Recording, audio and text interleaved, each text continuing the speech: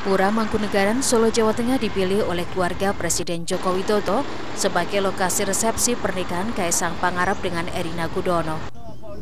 Sejarawan menyebut, Pura Mangkunegaran merupakan simbol dari Mataram Islam di Tanah Jawa yang masih lestari seperti halnya Keraton Kasunanan Surakarta serta Kesultanan dan Paku Alam di Yogyakarta.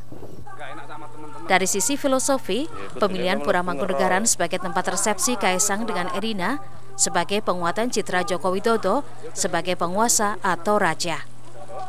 Ini ditunjukkan dengan sejumlah kebiasaan yang dimulai sejak Joko Widodo menjabat sebagai wali kota Solo hingga Presiden Republik Indonesia.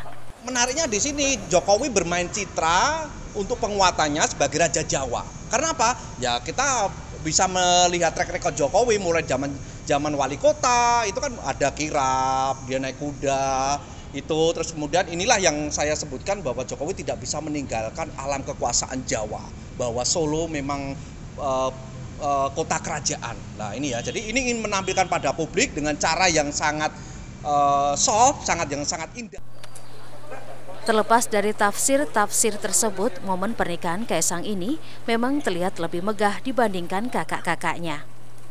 Selain dihelat di dua kota, simbol Mataram Islam juga digelar di salah satu bagian kerajaan Mataram yang masih lestari. Widi Nugroho, Kompas TV, Solo, Jawa Tengah.